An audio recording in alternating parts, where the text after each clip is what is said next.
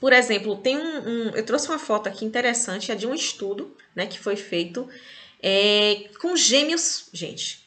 E assim, uma coisa interessante sobre os gêmeos, tá? Gêmeos têm o DNA igual. Essas duas gêmeas aqui, a gêmea da esquerda é uma gêmea, né, que ela é não fumante e a outra é fumante, tá? A da direita é fumante, a da esquerda é uma não fumante. Gente, olha a diferença de pele que tem, tá? Uma fumante para uma não fumante. Elas têm o mesmo DNA, né? Porque a gente podia falar assim, não, porque o DNA.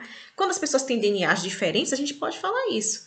Mas os gêmeos têm exatamente o mesmo DNA, tanto que eles são iguaizinhos. E aí, o que foi que acabou com a pele de uma? Né? Veja que uma tá totalmente fotoenvelhecida. A gente vê que a gente tá uma pele manchada, completamente enrugada. E elas têm a mesma idade, nasceram da mesma barriga, enfim. Então vejam como às vezes, né, fatores externos como fumo é, e os, os, próprios estilos de vida, né, que a pessoa tem podem fazer isso. Vejam que, né, os hábitos das pessoas podem causar, tá, o seu fotoenvelhecimento. Então, ó, não se estressem, tá? Comam bem, durmam bem, evitem álcool, tabaco e, e também a fotoexposição solar, tá, gente?